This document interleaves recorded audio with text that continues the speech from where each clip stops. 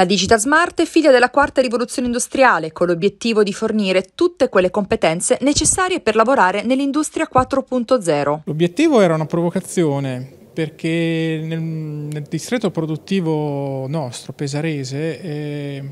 in realtà in tutta Italia c'è un grosso problema di, per rintracciare le risorse umane altamente specializzate e noi siamo una scuola che fa questo. Avevamo bisogno di parlare con gli imprenditori e capire quali sono un po' le problematiche, gli argomenti che loro interessano di più, le dinamiche, perché vediamo che non è sufficiente formare bene una persona, ma ci sono anche altre sfumature. Oltre a questo si è perso un pochino anche la fiducia negli enti di formazione come noi e quindi abbiamo anche cercato di saldare un po' eh, il rapporto per capire eh, dove possiamo arrivare, cosa possiamo fare loro, noi per loro e credo che, che l'incontro sia stato molto molto proficuo da questo punto di vista. ETS Tecnologie Made in Italy si apre ai futuri iscritti dei corsi di alta specializzazione post diploma nelle Marche e lo fa con un calendario flessibile su tutto il territorio regionale. Gli ITS sono nati quasi 15 anni fa, si chiamano Istituti Tecnici Superiori, adesso è stato aggiunto il termine Academy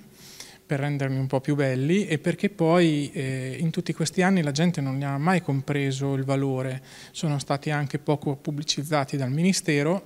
e hanno incominciato un po' a decollare dopo che il governo Draghi ne parlò ampiamente proprio perché c'era bisogno di trovare personale altamente specializzato e si, si capì che questi ITS come il nostro avevano una funzione fondamentale nel formare questi ragazzi. E sono, sono strutture eh, post diploma quindi sono delle alternative per corsi universitari.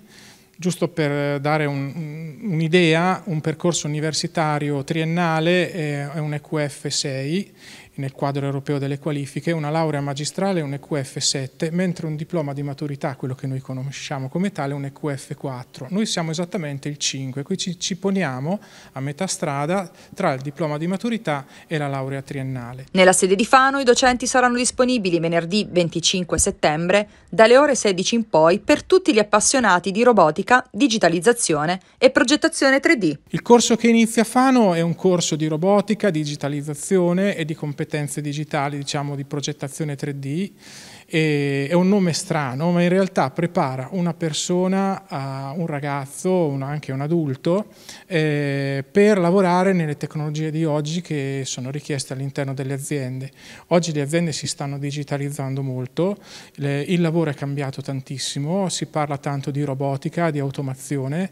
abbiamo paura dei robot perché rubano posti di lavoro, ma nel caso nostro i robot danno posti di lavoro perché sono tutte tecnologie che richiedono personale altamente qualificato. Formiamo e prepariamo circa 20-25 ragazzi l'anno, ma ce ne chiedono 100-150. Per noi è indispensabile far capire ai ragazzi quanto sia interessante questo lavoro, quanto sia moderno, quanto guarda al futuro e quale poi eh, riscontro ha a livello occupazionale altissimo.